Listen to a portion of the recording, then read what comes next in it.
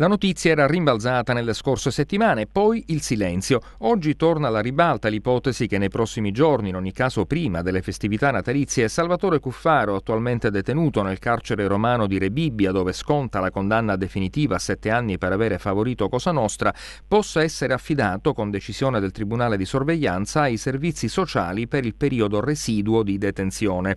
La destinazione di lavoro di Cuffaro potrebbe essere, usiamo il condizionale ma al momento non sono state rese note altre ipotesi, la missione Speranza e Carità di Biagio Conte in via Archirafi. La struttura comprende anche la sede di via Decollati e ospita una mensa, laboratori artigiani e diversi altri servizi. L'ipotesi di lavorare alla missione in realtà era stata offerta nei mesi scorsi dallo stesso Cuffaro che però aveva sottolineato come la decisione finale spetti al Tribunale.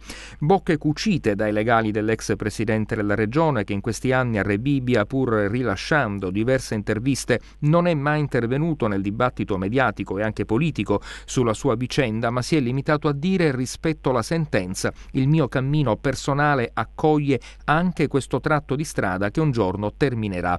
Bocche cucite anche alla missione di Via Archirafi. Nei giorni scorsi Biagio Conte si è limitato a dire non abbiamo mai rifiutato nessuno, non inizieremo adesso a farlo.